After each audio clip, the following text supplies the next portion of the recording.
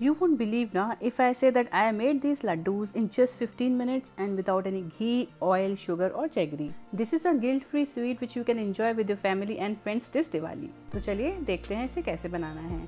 सबसे पहले पैन को गैस पे चढ़ा देंगे, उसके ऊपर इसमें हम डालेंगे आधा कप अखरोट, आधा कप बादाम और आधा कप काजू। इनको हम लो टू मीडियम फ्लेम पर रोस्ट कर लेंगे जब तक ये अच्छे से क्रंची नहीं हो जाते। तो आराम से आप इसको मीडियम फ्लेम पे रोस्ट कर लें। तीन से चार मिनट में ही अच्छे से रोस्ट हो जाते हैं। अगर आपको गैस पे नहीं करना तो आप इसको माइक्रोवेव में भी रोस्ट कर सकते हैं।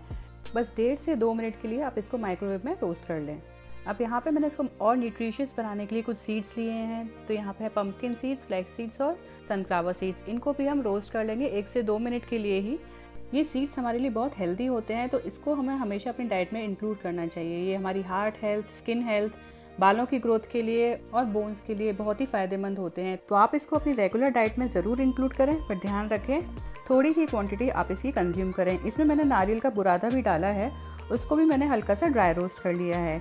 सारे नट्स को और सीड्स को हम प्लेट में ट्रांसफ़र कर लेंगे और इसका ठंडा होने का वेट करेंगे। यहाँ पे सारे ड्राई फ्रूट्स हमारे ठंडे हो गए हैं, इसको मिक्सर जार में ट्रांसफ़र कर देंगे।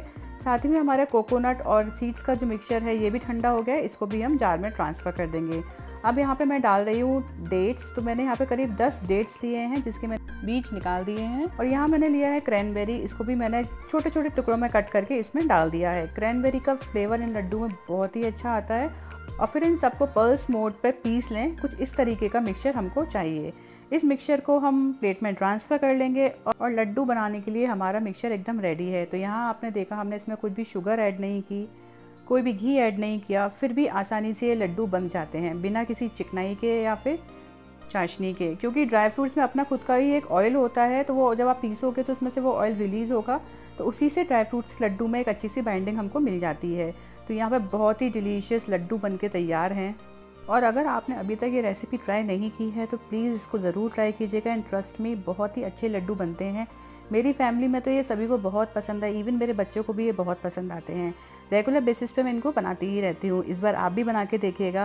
अगर आप डेली एक लड्डू ये खा लेंगे तो आपको कई सारी बीमारियों से राहत मिलेगी। थकान, सर दर्द वीकनेस ये छोटी मोटी चीज़ें आपकी चुटकी बजाते ही दूर हो जाएँगी और आपको पता भी नहीं चलेगा। तो उम्मीद करती हूँ आपको आज की ये हेल्दी रेसिपी ज़रूर पसंद आई होगी। इसको ज़रूर ट्राई कीजिएगा। जब भी आपका मीठा खाने का मन करे इसमें से एक लड्डू खा लीजिए। गिल्ट फ्री लड्डू है एकदम और आपकी स्वीट क्रेविंग्स को भी सेटिस्फाई कर देगा। तो कैसा लगा आपको आज का वीडियो मुझे कमेंट करके ज़रूर बताइएगा। रेसिपी ट्राई कीजिएगा। रेसिपी पसंद आए तो इसको लाइक ज़रूर कीजिएगा। कमेंट करके मुझे बताइएगा। और, ऐसी ही मज़ेदार रेसिपीज़ के लिए कुक ईजी विश्रुति को सब्सक्राइब ज़रूर कीजिएगा। Bye bye and take care